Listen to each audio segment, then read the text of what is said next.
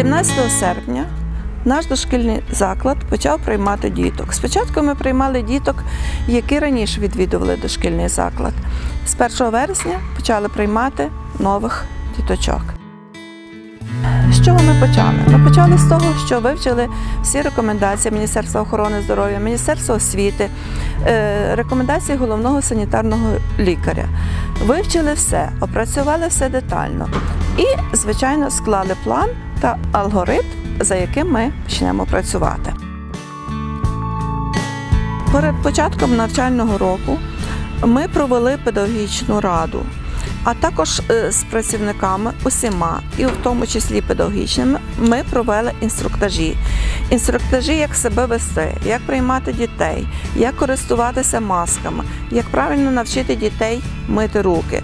На педраді виступила старша медична сестра, яка провела навчання всіх працівників, в тому числі і педагогічних, як всім користуватися.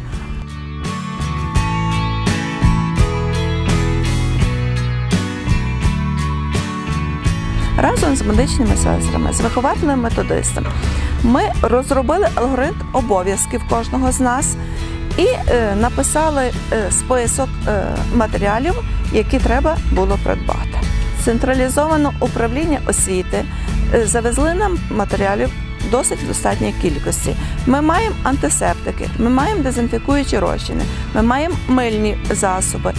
А також ми придбали дезінфікуючі килимки, щоб не перевзувати діток у тапочки при вході у дошкільний заклад, а діти йдуть через дезінфікуючий килимочок і заходять в групу. Кожен працівник має по дві пари взуття. В одному ходять тільки в групах, в другому по приміщенні дошкільного закладу.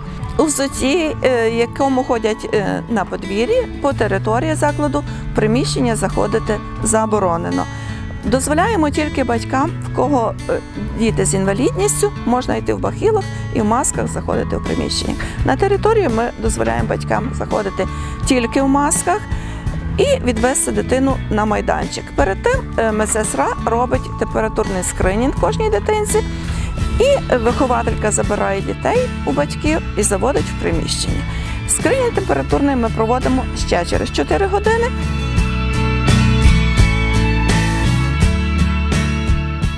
Готуючись до відкриття дошкільного закладу, ми згорнули всі килимки, е, прибрали всі іграшки, залишили тільки ті іграшки, які можна в кінці дня помити та дезінфікувати.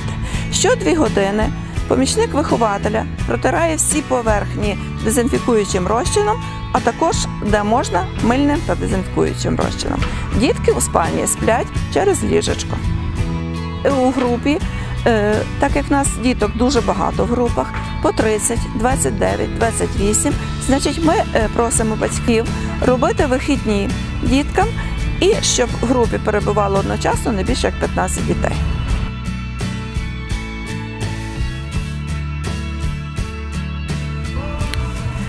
На період адаптивного карантину ми е, змінили графіки роботи графіки е, харчування дітей, графіки занять, графіки виходу на прогулянку, тому щоб не було змішування груп. Ми не мали можливості е, відкрити всі запасні виходи, тому що другий поверх і дітки по високих драбинках не можуть йти. І ми відкрили тільки два входи і зробили графік, по якому виходять кожна група, щоб не було змішування. Початок роботи на перший погляд нам здавався дуже таким нелегким. Ми детально підійшли з урахуванням е, наших можливостей, щоб наші дітки не боялися приходити в дитячий садочок. Ми дали рекомендації нашим вихователям, щоб діток навчили, як правильно мити ручки, як правильно е, витирати, тому що наші дітки звикли користуватися е, звичайними рушничками. Тепер у нас є паперові рушнички в ігровій формі дітки навчаються того. Їм дуже це сподобалось. Спочатку дітки наші хотіли приходити всі в масках, але дозволено, що дітки можуть бути без масок. І діткам нас подобається, тому що вихователі наші стараються їм пояснити все в ігровій формі, проводять е, заняття е, з дотриманням дистанцій. Ми провели інструктаж для наших педагогічних працівників, щоб е, як можна більше часу дітки наші проводили на вулиці. Проводиться часте провітрювання наших приміщень закладу, прийом діток на вулиці. За той час група вже провітрена. Помічники вихователів е, ознайомлені з детальними інструкціями, як е, потрібно мити, прибирати і дезінфікувати наші поверхні, а також іграшки.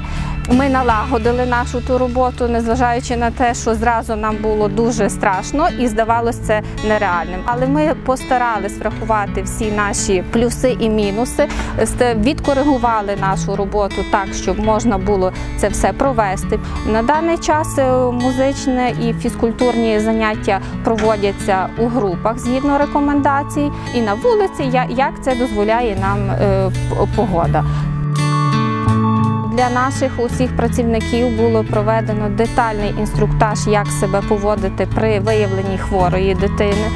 У- наш е, дошкільний навчальний заклад ми не допускаємо діток з ознаками захворювань. Батьки до нас поставилися е, з цим з розумінням і дякують нам за те, що ми дбаємо про безпеку їхніх діточок.